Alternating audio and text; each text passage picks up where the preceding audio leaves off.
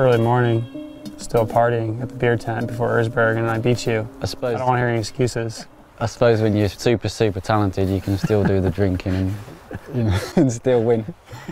Yeah, definitely not. I mean, I've sacrificed a lot of my beginning years, especially uh, through high school and stuff like that, and just trying to focus on just getting better because I knew growing up that was what it was going to take if I wanted to be where I saw myself now. It's amazing what you can do when you you focus completely on that, right?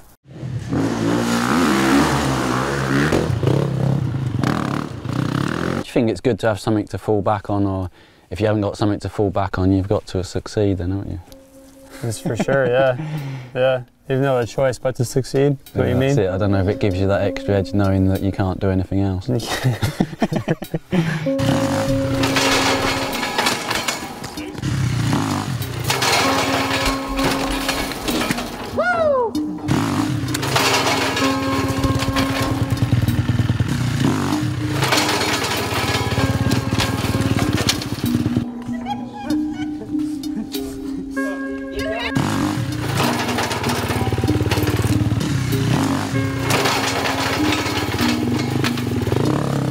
think you'll be as good as me when you're my age.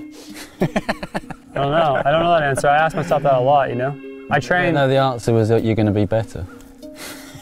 No, I really. Yeah, I would say that, but I don't. You know, I don't know that at all. It's, You'll uh, keep improving though, won't you? Like uh, another 15 years, you, the sport will have moved on, so the level of riding is going to be higher again.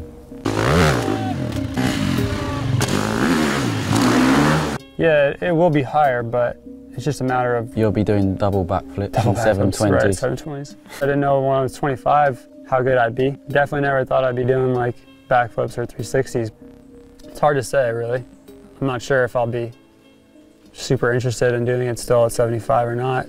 I hope I can still learn things from 75, but I don't think I could like just stop riding though and not do anything because I still you'd still enjoy just going out for a trail ride and you're not competitive, are you? So you just go out and look at look at the scenery and it's, it's, Yeah. a, it's a good feeling, isn't it? Just riding a bike and going different places.